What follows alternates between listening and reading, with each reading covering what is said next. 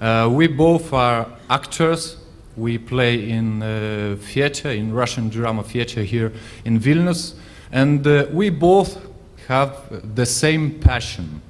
This passion is that little musical instrument which is called Jew's harp. Uh, we are not professional musicians, but two years ago we started playing it, and now we play for our pleasure. Uh, we perform for public, Sometimes we take part in different musical festivals. Slava taught children in school how to make self-made Jew's harp. Uh, in this year, we organized the first Jew's harpers session here in Vilnius. In our last performance, we combined futuristic Khlebnikov's poetry with Jew's harp music. In spite of Jew's harp is quite well-known instrument in the world.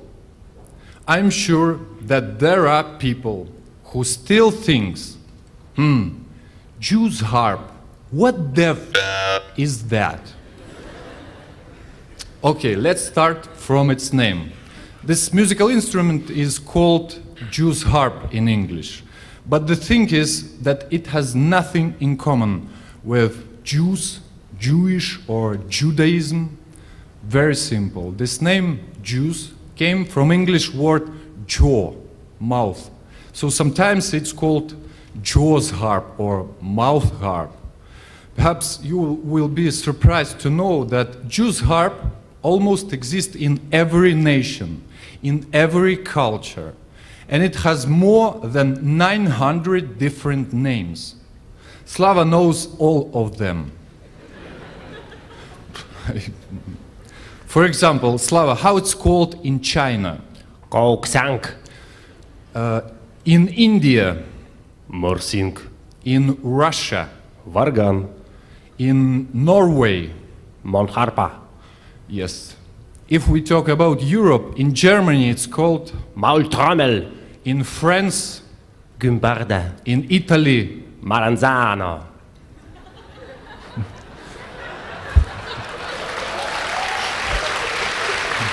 Maranzano. Maranzano or Scacciapensieri. Okay, I will tell you later. Uh, in Hungary, it's called Daromp. And uh, of course, the place where we are here today, in Lithuania, it's called Dambrialis arba Bandurėlis. Yes, Dambrialis. So Dambrialis, or Jew's harp, is known as one of the oldest musical instruments in the world. But no one knows where it actually came from. At first, it was made of uh, wood or bone or something else that you can find in nature. And it has a shape of a little plank and looked somehow like this. Of course, nowadays we made it from credit card. But you can play it, it sounds. Next level was advent of iron. With the advent of iron, Jew's harp finally found its original shape. And it sounds exactly the same like many, many ages ago.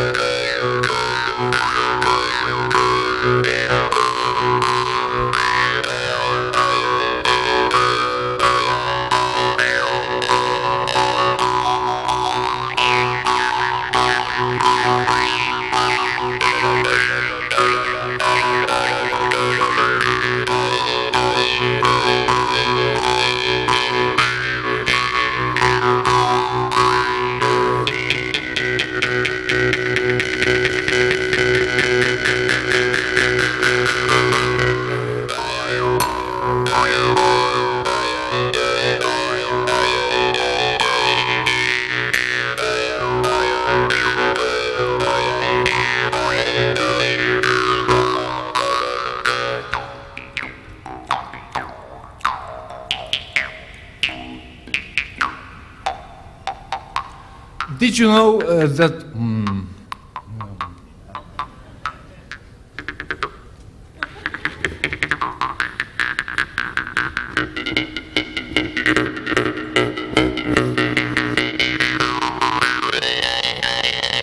Did you know that you hear a sound of Jew's harp many times in your everyday life, but never realize what it actually is?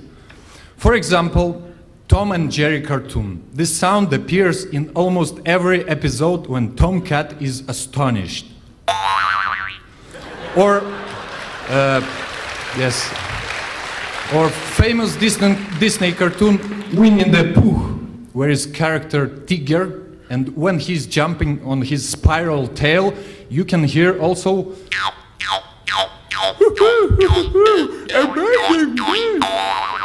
Yes, but, but of course, uh, Jew's harp, it's not, a, it's not a toy. It's musical instrument and uh, it's not just for fun. Specificity of this musical instrument that the sound goes not from instrument itself, but from the whole body of the one who play on it. You will be surprised to know again uh, that among those who played on Jew's harp was such famous people like American President Abraham Lincoln, or it was Russian Tsar Peter the Great, Peter I. But if we talk about Russia, in time of Stalinism, Jew's harp in Russia was forbidden of its close connection to shamanism.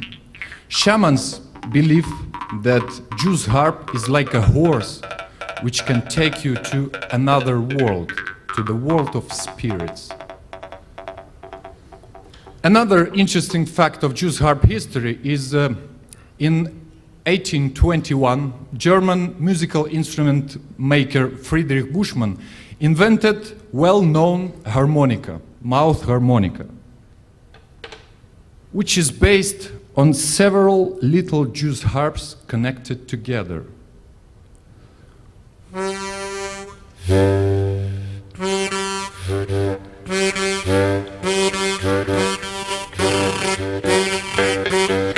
Bit later, accordion appears, which is made by the same way.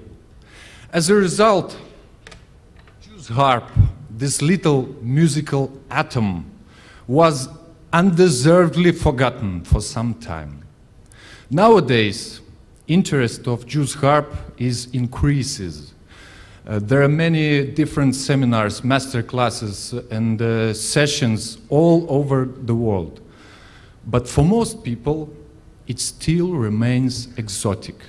And we hope it will become less exotic for all of you after our today's performance.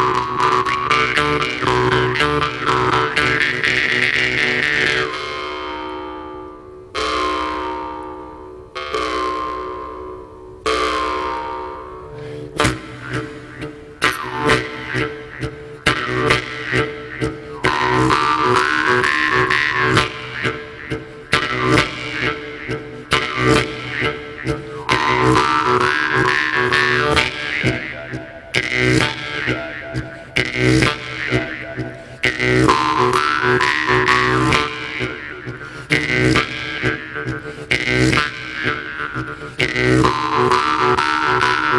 you.